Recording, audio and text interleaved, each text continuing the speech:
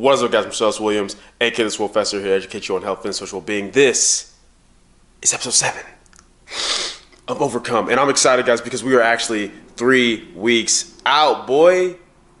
Thrace. It's crazy because I honestly like it. I did, forgot we were three weeks out until Derek reminded me. Yes, he's like, "Hey, bro."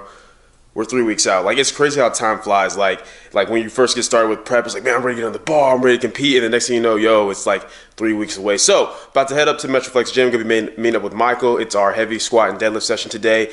I feel like I've been showing you guys that quite a bit, but just just so excited. I'll be sure I show you guys like you know upper body volume day next episode or something like that. But this time we are keeping it 100% raw. Just gonna lift, gonna train, gonna talk to you guys about a few things. Gonna bust out the singlet because you know gotta practice how we play with being three weeks out. Um, one thing I want to address right now to be in the video is that like you know especially on Instagram. Ever since I announced like forever ago that I was doing this uh, USPA meet, bend the bar. Um, a lot of people ask like, "Hey, bro, aren't you worried though, man? Like, you know, um, this meet isn't a drug tested one because like USPA does have a drug tested federation, but it's small and it's growing, and this is not one of their drug tested meets. And they're like, "Aren't you worried about that, man? You're going up against people who are natty and this and that." And I'm like, guys, I, I don't care. Like, first of all, like I said, the whole purpose of me even doing this meet was twofold. One, so I can get another meet in, kind of like see where my strengths at, and kind of use that like just to build off a better baseline. Two, originally the plan was after my last meet, Powerfest in June, was to do um, Raw Nationals. You guys already know if you kept up with the channel and like my videos over it that um, they had it to where like you couldn't really like record the way you wanted to as far as YouTube videos. I wouldn't be able to take you guys through it the way that I like to do with my style, as well as the fact that the um, USAPL as a whole had been just doing a lot of things that I didn't personally agree with, and I didn't want to be one of these lifters that was out here constantly complaining about their decisions, but still giving them their money. So I decided to just take a like you know take a step back from them just for the rest of this year, um, and then kind of see what the game plan will be for next year as far as you know if I want to like you know do a qualifying meet and then maybe go to nationals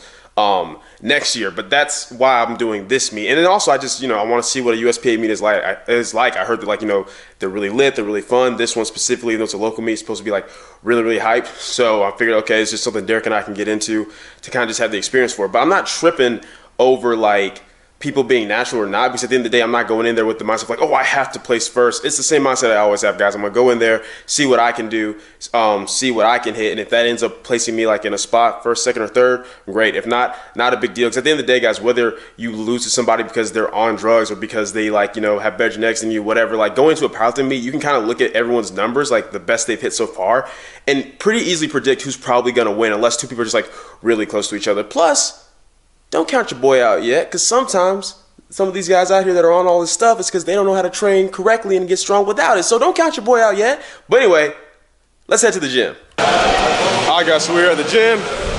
Homies Mitch, Michael, like JD are already here getting it in. I'm late. I have no excuse. I'm just late. But uh, anyway, we're about to start warming up. Today, I have a double at RP6 and then a single at RP8. So just like last week, I do build up doubles until I get to the double at six, and then build up singles until I get to single at eight. So, ain't much else to say. Let's get right into it.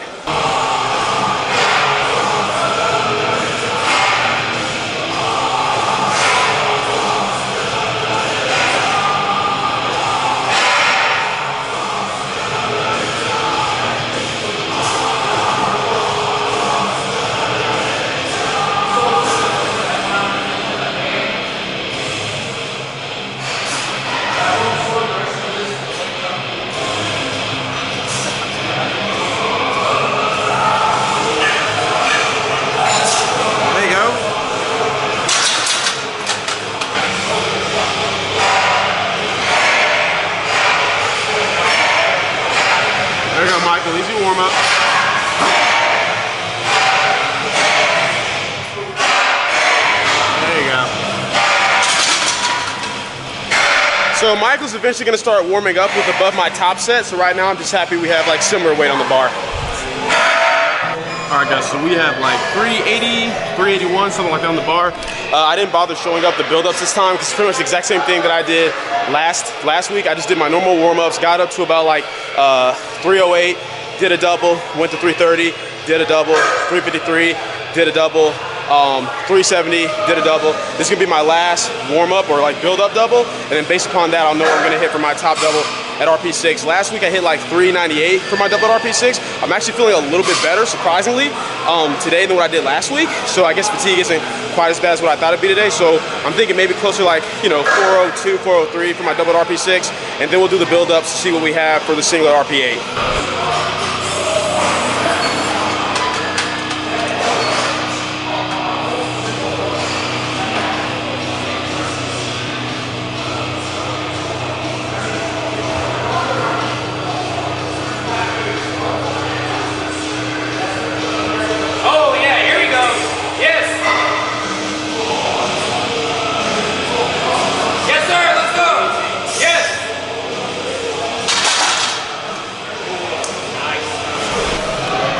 Guys, so that felt really, really good. That actually moved pretty quick for me. For me, relative to my, y'all already know, speed is relative to the individual. That moved really well for me. So I definitely think like 402 or 403, whatever it is, is gonna move pretty well for me for my is deadlifting. I think 402 will move pretty well for my double at RP6. If you guys notice, um, I'm taking my time with my bracing and my setup. One thing that I've noticed, a lot of people that get in really good position, they tension well, but then they take a really shallow brace and just rush into the hole.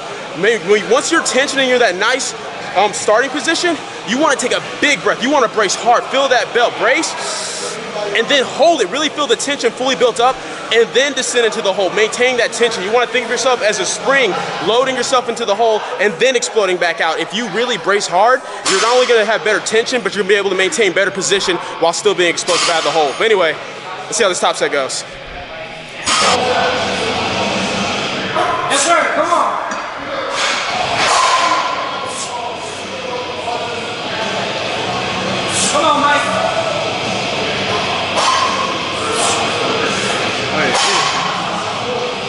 Easy work.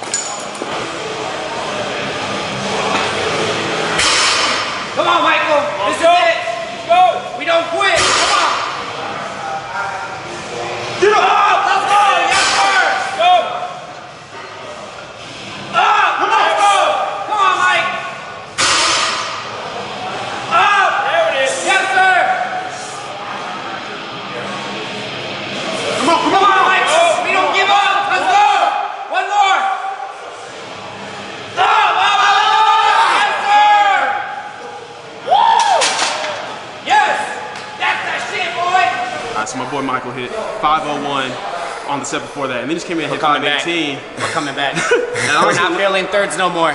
We're done. Yeah, We're that one- done. Coming in. The goal done. was an eight and a half, and it was definitely a true 600. RP eight and a half. What would you say was the biggest difference between the 501 and the 518 that made the 518? His spotters. better? Most definitely, I don't know. I think Marcellus is gonna show both sets, mm-hmm. yeah. but for sure the biggest difference. If you notice with the 501, I was kind of just trying to rush through it, Yep. just get the set done, not really bracing, Yeah. not really slowing down the reps. Versus with the 518, Took your time. I took my time. Yeah. Of course, the set is gonna take longer. Yeah. But You're in better um, position. yeah, Yeah. you're able to brace harder, you're able to, obviously the bar is gonna whip a little bit, so you're able to kind of let it do its thing and then slow down, stabilize everything, Exactly. and just take your time with every single rep. There you go. See, guys, that was like the perfect example of what I was talking about. About once you're in position, you still got to brace hard and take your time to feel that tension build up. It's worth it. Anyway, so that double at RPE six with 403 felt really, really good. Um, it felt true to RPE. I felt the bar roll up a little bit on my second set just because since I actually had my singlet all the way on, I didn't take full time to really like dig my back into it as much as I was on my uh, on my warm ups building up to it. So I'm about to do 418 or 420, whatever this is, for my build up single, and based upon that, see what I have for my RPE 8 and really take my time digging my back into the bar.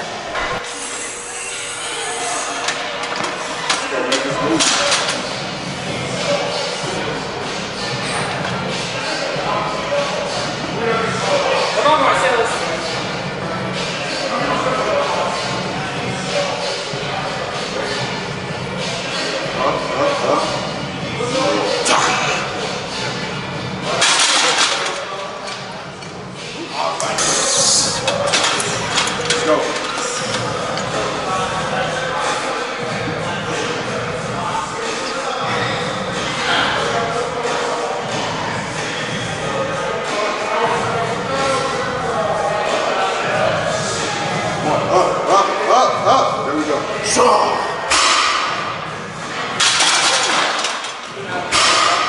right, guys. So, as you guys can see, I ended up going with 425 for the single. Uh, simply because when I, by comparison to last week, that 420 just it didn't feel as good. It still felt sub eight, but it was slower. And even though I don't go based upon speed, the positioning didn't feel as good either. Like I could feel that like my left elbow was more winged. I couldn't keep my elbows down the way I wanted to, and that's why you guys saw the bar like had like that tilt. So I decided to just play safe, go with 425, uh, and that definitely felt a lot closer to the eight than what 430 would have. 430 like may have been the eight if I got perfect positioning, but that wasn't happening.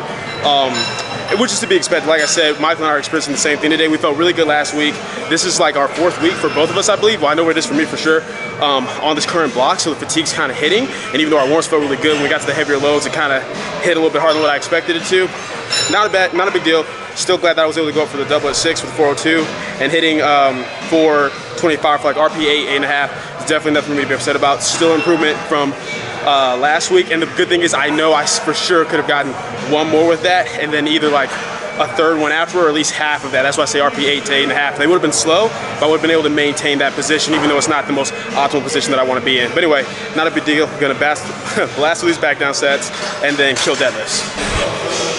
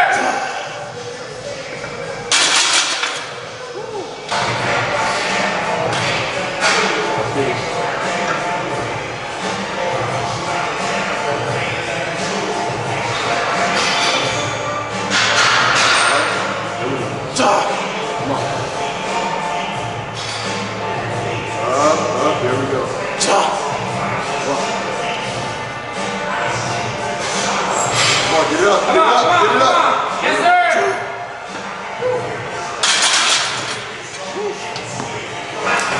All right, guys. So back down sets did not feel great. What's crazy is they weren't that much heavier than uh, last week. I'm pretty sure my back down doubles were almost the exact same weight as last week, just because it was a greater percentage taken from my top set than last week. And my back down triples were only like 10 pounds heavier. But this is the fourth week of this block, and simply due to like the fatigue, you know, it's hard to stay in position. Everything's just feeling a little bit more eh.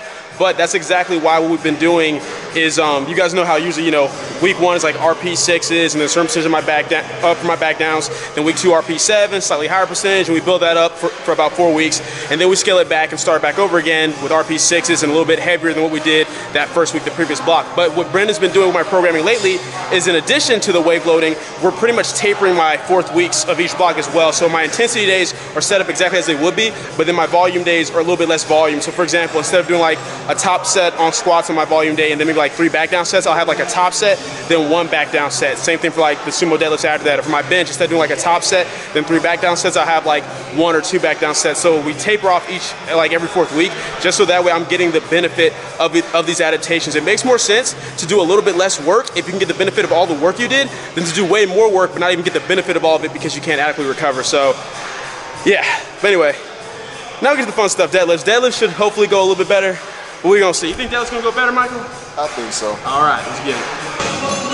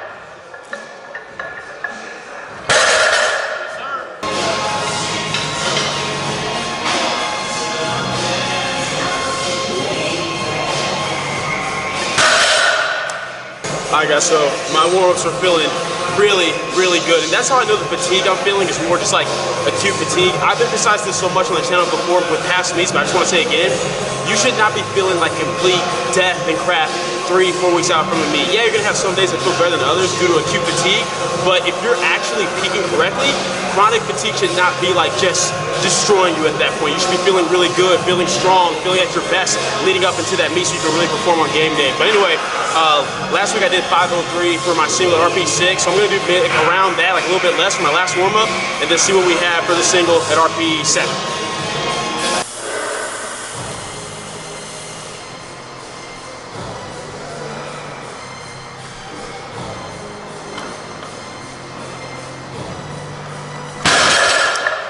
So I'm as I'm going, sending sets to Brendan and posting my sets on my story and stuff like that. He saw the 475 and was like, "Hey, man, this is moving well, but like, wake up, like, move with speed, move with intention." So I got a little bit more aggressive on the final warm. Felt really good. Um, I feel like we're gonna go with like 520. I've never moved that in RP7, but I think it's there today.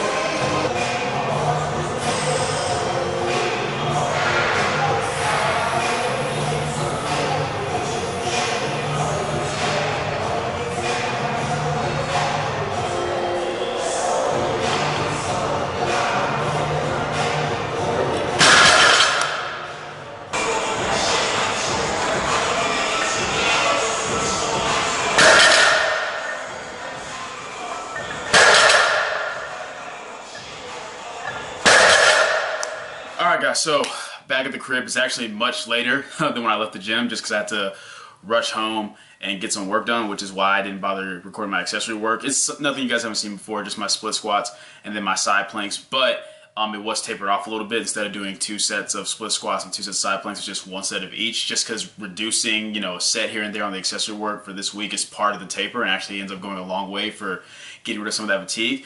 But anyway, all in all, man, today was a really, really solid session. I always love working out with like Mitch, JD, Michael, pretty much anyone who's like stronger than me. Like I don't have the weakest bench in the group, but I definitely have the weakest squat because they're all squatting like 500 plus, and just being around them really it just motivates me to be like, hey, you got to get better. Like they're over here moving, you know, five, six hundred pounds. You have no excuse not to be able to move like you know, four hundred pounds. And even though it's not so much about like, oh, I want to like work hard to catch them, because like once again, I understand how like you know, genetics, leverages, all that. It's about I see them putting in work. So I gotta put in work, and it makes me want to do better. And plus, it's just you know just good getting the session in with the boys. Anyway, even though squats weren't um, exactly what I wanted to, still came in, got the work done. Deadlifts were amazing. I have never moved 580 pounds that fast, like ever. Like a solid, true RP7.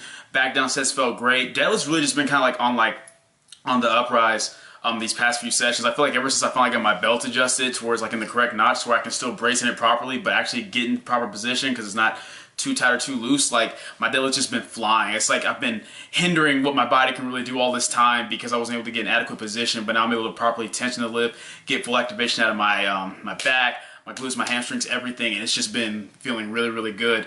Um, squats are always going to be an uphill battle for me. I know that just because of my leverage, especially like my longer femurs. It's never going to like just be like my oh my best or most dominant lift, but as I just you know get better at maintaining position and overall just gets bigger, that's going to be the main thing I'm going to focus on. Is trying to like you know just add more muscle to my uh, frame. That's what's going to help me the most with the squat. Like sometimes, guys, you just got to work with what you've got and find ways to work around your weak points. Like on the bench press, I don't have a huge arch. Even if I tried to force it more, I would never have like the same arch that a lot of powerlifters do and I have pretty long arms relative to my frame, but I still managed to work through it by putting on adequate muscles on my chest, my triceps, my back, all the muscles that are involved in the bench press, really working on scapular stability and positioning and controlling the eccentric, maintaining tension, all those little things that go a long way, which has allowed me to get my bench up to 347 pounds, um, despite only weighing in the 160s, and hopefully I get to beat that three weeks from now. Deads out of everything, honestly, is probably like the best that I'm built for. Even though, like, yeah, my legs are longer, my arms are kind of long enough to help compensate it. Even though my position will never just look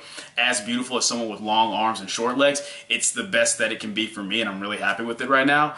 Um, but yeah, that's why like right now, like I'm weighing around like 165, 166 on average, which is actually really good. That's the most I've ever weighed like under Brendan, just because it's really hard to gain weight under him. Just do like you know all the volume that we're doing, just haven't eaten enough. But I'm able to make maintain that really well right now. And I'm pretty much going to stay there for the next three weeks for the mere fact that the top of my weight class is 165 pounds. So I don't want to like go way over that, then have to water cut for no reason. Um, but after this meet, definitely plan on pushing that even further, trying to get back close to like, you know, 170, maybe even 175 or anything over 170 would be like, you know, a weight PR as far as weight on the scale. And just like, like I said, focus on building and growing in the off season so that I can really like come back strong for whatever meet I do after that. But anyway, enough rambling that's it for the video. Hope you guys enjoyed it. If you did, go and leave a comment down below. Let me know what you did. If you're not, leave a comment down below. Let me know what I can do better. Like the video, share, subscribe. Keep it simple, specific, scientific. I'll catch y'all later.